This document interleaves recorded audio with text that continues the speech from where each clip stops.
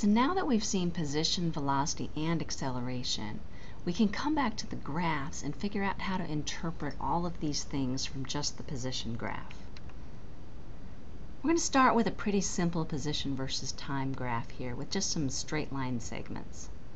I'll remind you that positive positions means you're somehow in front of the reference point, and negative positions means you're somehow behind the reference point. For this graph, that's the two sections that we've got here above and below the x-axis. Anytime you cross the x-axis, that means you're actually at your reference point at that particular time. But we can learn a lot more from these position versus time graphs. For example, these sections here where you've got a nice horizontal segment, well that means you've got constant position or you're standing still. That means you're not moving or your velocity is equal to zero there as well. If you're moving forward, then you should have a slope moving up along your graph. And if you're moving backwards, you should have a slope going downwards on your graph. In these cases, because they're nice straight line segments, not only are you moving forward, but you're moving forward at a constant velocity. And here you're moving backward at a constant negative velocity. If we've got curved sections on our graph, we can learn even more from that. So for example, if we're moving forward, again, we've got our upward slope. Since it's not a straight line, it's not a constant velocity during that particular segment. But anytime we're moving forward, we're going to be sloped upwards. If you're sloped upwards a little steeper, that means you're moving faster in the forward direction. If you're a little bit less slope, that means you're moving forward but not quite as fast. Similarly, if you're moving backwards, you're going to have a negative slope on that particular section of the graph, like we have in these two points. Now, if we get one of these points up here on top, it's not a flat line, but the curve does flatten out there.